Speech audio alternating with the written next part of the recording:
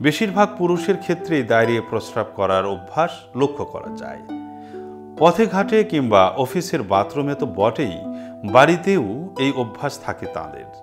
কিন্তু দাঁড়িয়ে প্রস্রাব করার এই অভ্যাস কি আসলে স্বাস্থ্যকর? বিভিন্ন গবেষণায় দেখা গেছে দাঁড়িয়ে প্রস্রাব করার কারণে পুরুষের শরীরে মারাত্মক ক্ষতি হতে পারে। যেসব ক্ষতি সম্পর্কে জানলে এই অভ্যাস পরিবর্তন করতে চাইবেন আপনিও। জেনে নিন, দাঁড়িয়ে প্রস্রাব করার ক্ষতিকর দিকগুলো।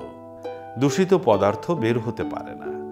মূত্রথলির মধ্যে জমে থাকা দূষিত পদার্থ দাঁড়িয়ে প্রস্রাব করার কারণে নিচের দিকে চলে যায়। যে কারণে সেসব ক্ষতিকর পদার্থ শরীর থেকে বের হতে পারে না। এভাবে দিনের পর দিন দূষিত পদার্থ জমতে থাকে, ফলে শরীরের স্থায়ী ক্ষতি হয়।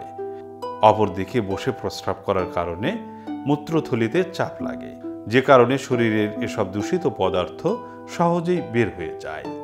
প্রস্রাবের বেগ কমতে থাকে। যাদের দীর্ঘদিন ধরে দাঁড়িয়ে প্রস্রাব করার অভ্যাস, তাদের ক্ষেত্রে বয়স বাড়ার সঙ্গে সঙ্গে প্রস্রাবের বেগ কমতে শুরু করে। এতে বয়স বাড়লে অনেক পুরুষেরই নানা সমস্যা দেখা দেয়। তখন তারা প্রস্রাবের বেগ কমে যাওয়ার অভিযোগ করেন। মূলত এর পেছনে অন্যতম কারণ হল দীর্ঘদিন দাঁড়িয়ে প্রস্রাব করার অভ্যাস। অস্বস্তি থাকে। যারা দাঁড়িয়ে প্রস্রাব করেন, তাদের রক্তচাপ ও হৃদস্পন্দনের গতি বৃদ্ধি পেতে পারে। এর কারণ হলো, দাঁড়িয়ে প্রস্রাব করলে শরীরের উপরের অংশে চাপ পড়ে না। যে কারণে শরীরের দূষিত বায়ু মলদ্বার দিয়ে বের হওয়ার সুযোগ পায় না।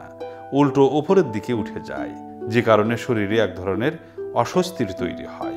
কিডনির ক্ষতি হয়। যাদের দীর্ঘদিন ধরে দাঁড়িয়ে প্রস্রাব করার অভ্যাস, তাদের ক্ষেত্রে কিডনির ক্ষতি হওয়ার ভয় থাকে।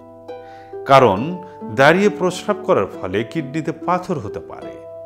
শরীরে দূষিত পদার্থ জমে এমনটা হয়। তাই কিডনি ভালো রাখতে দাঁড়িয়ে প্রস্রাব করার অভ্যাস বদলাতে হবে। ডায়াবেটিস ও অন্যান্য রোগ। বিভিন্ন গবেষণায় উঠে এসেছে দীর্ঘদিন ধরে দাঁড়িয়ে প্রস্রাব করার অভ্যাস রয়েছে যাদের, তাদের ক্ষেত্রে বয়স বাড়ার সঙ্গে সঙ্গে ডায়াবেটিস, কিডনির অসুখ, জন্ডিস ইত্যাদি মারাত্মক অসুখ দেখা দিতে পারে। তাই এসব থেকে বাঁচতে চাইলে প্রস্রাবের অভ্যাসের পরিবর্তন করুন। সুস্থ শরীর, সবল মন, বাঁচতে হলে প্রয়োজন।